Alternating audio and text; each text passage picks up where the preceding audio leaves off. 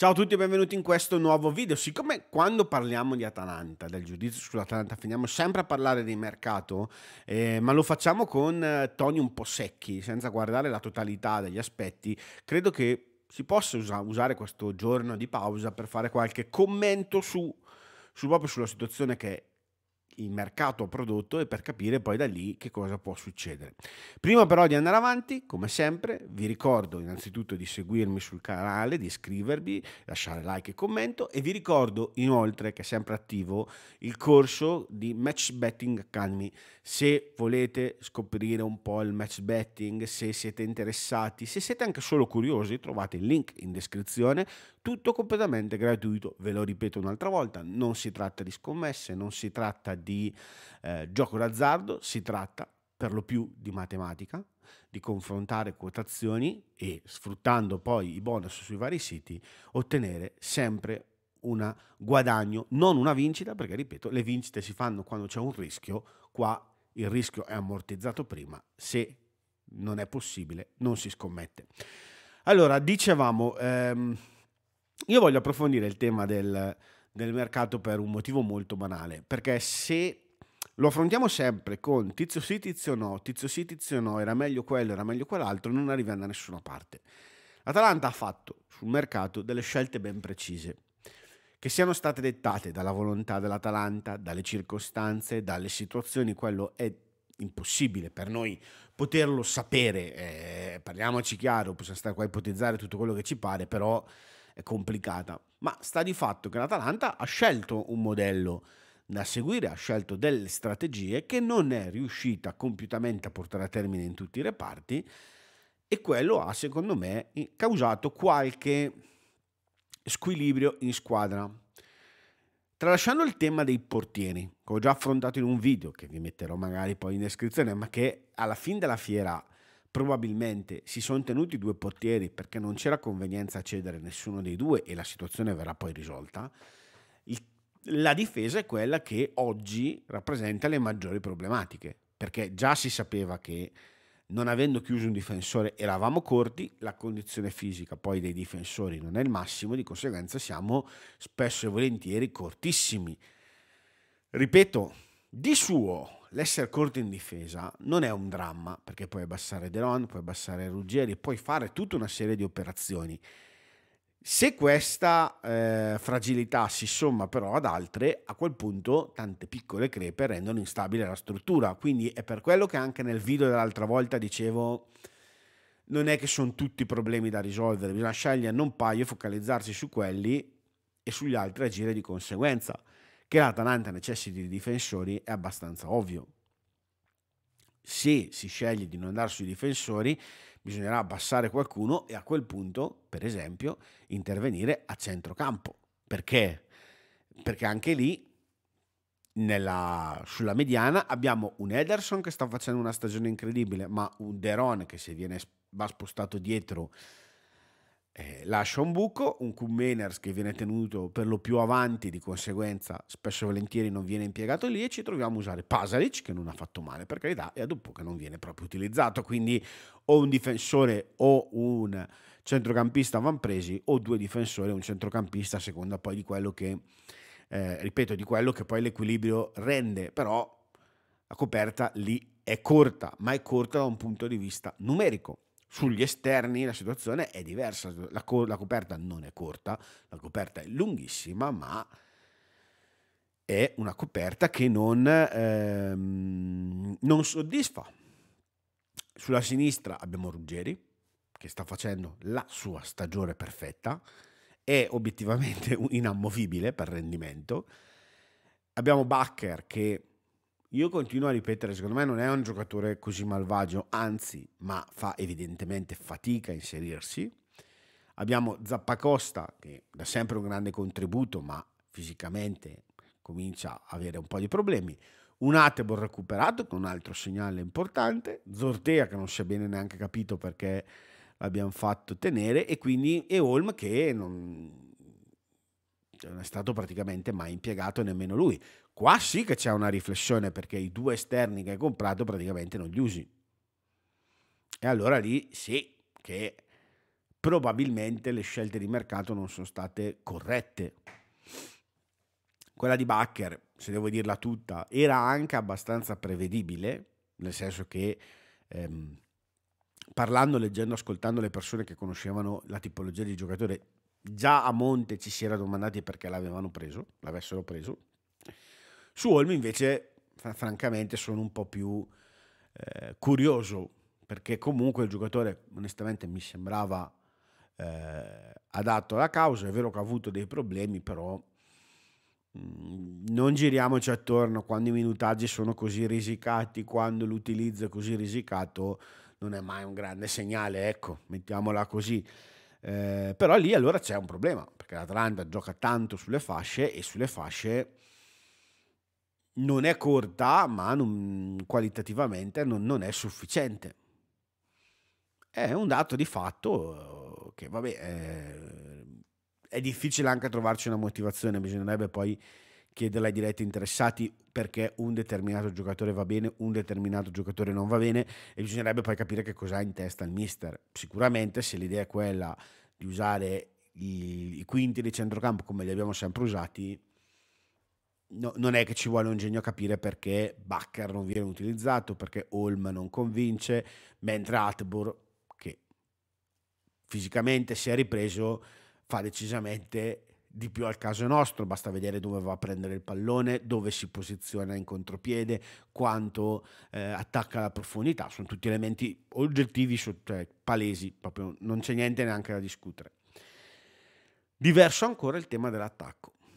L'Atalanta lì ha speso tantissimo, è stata anche sfortunata con l'infortunio di Touré, però ha fatto degli investimenti che hanno una, una logica che può essere condivisa, può essere non condivisa, ma hanno una logica. Cioè l'Atalanta è andata a prendere De Ketlar e Scamacca che erano, sono due scommesse, due giocatori pagati comunque mh, grandi cifre. Poi De Ketlar è stato in prestito, ma vabbè, ehm, due, due, comunque due scommesse che l'Atalanta pensa di poter recuperare, di poter eh, sgrezzare, di poter finalmente eh, portare a, ehm, a farsi vedere nel calcio che conta, perché sono due giocatori che sulla carta hanno sempre dato eh, grandi aspettative e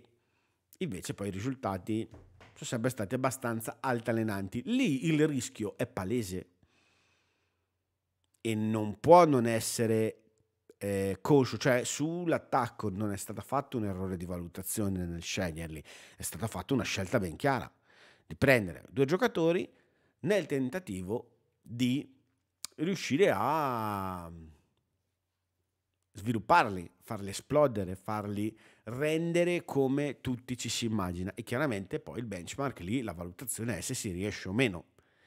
Probabilmente la presenza di Touré che un giocatore più esplosivo, un giocatore comunque che ricorda molto di più Zapata nelle movenze e quant'altro, ha senza dubbio un po' eh, destabilizzato il piano, perché per me, ripeto, il piano era un tridente con Lukman da una parte, Touré dall'altra e in mezzo un attaccante. Per me l'idea era quella, non, non, non c'era eh, grandi, grandi ragionamenti dietro. L'infortunio ha ovviamente un po' scompaginato il tutto.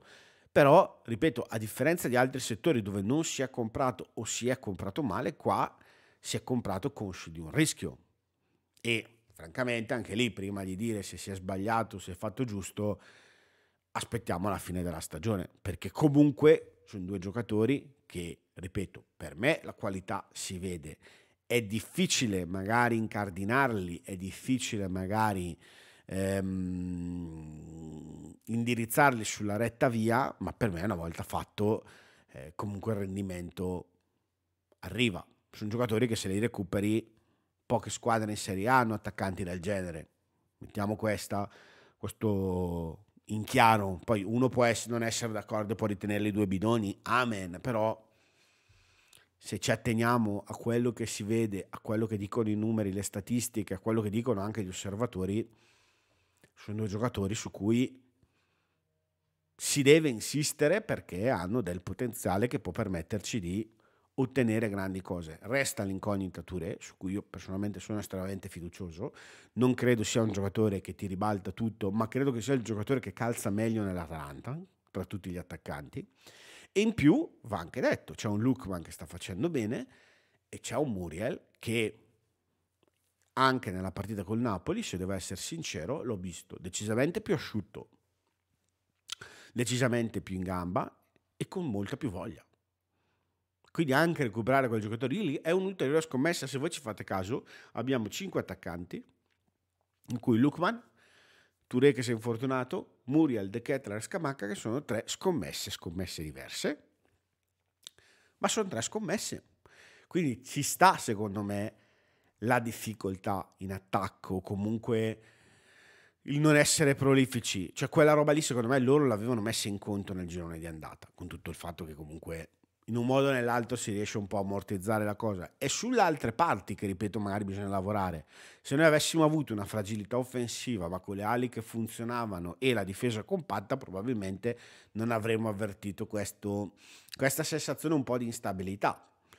Sai, tutte que- per questo che io parlo di tante piccole situazioni, ma devi risolvere un paio, non è che devi metterti a fare un repulisti. Non è sbagliata l'Atalanta, l'Atalanta non è debole, l'Atalanta non ha eh, sbagliato tutto. L'Atalanta ha creato una serie di situazioni che insieme eh, fanno un po' fatica a, a coesistere, quindi bisogna scegliere qual è il, mm, il, il, quali sono le, le, situazioni più facili in cui intervenire e intervenire su quelle. Personalmente penso che la situazione sui portieri sia abbastanza semplice, cioè la risolvano come vogliono loro, ma nei due devi tenerne uno, non ci vuole un genio.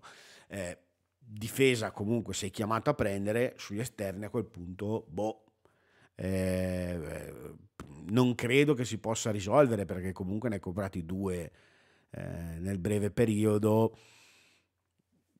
vederli già mandare via a gennaio mi sembra improbabile, quindi ripeto, secondo me si vanno a puntellare due o tre cose dopo la squadra c'è, perché la partita comunque col Napoli in quel secondo tempo ci ha detto che la squadra c'è, è evidente che ha delle difficoltà, che non, non, è una squadra così tonica, non è una squadra che può garantire chissà quali minutaggi e chissà quali rendimenti costanti, però non è una squadra da prendere sotto gamba, non è una squadra che non ha numeri, anzi è una squadra che le qualità ce le ha.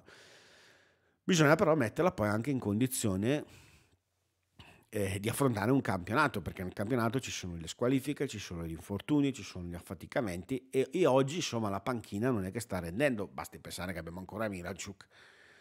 Quindi forse è quello il punto incompiuto e io credo che se riusciamo nel mercato invernale quantomeno a liberare e a accorciare il gruppo laddove siamo in esubero, si riesce a fare anche un lavoro un po' più di costanza, un po' più di eh, un po' più specifico e si riesce poi a venirne fuori. Veniamo, vediamo, vediamo. Eh, Ripeto, io l'ho voluto fare perché sennò finiamo sempre a parlare di se uno è bidone o meno, quando in verità il tema non credo sia quello. L'Atalanta non è che compra bidoni.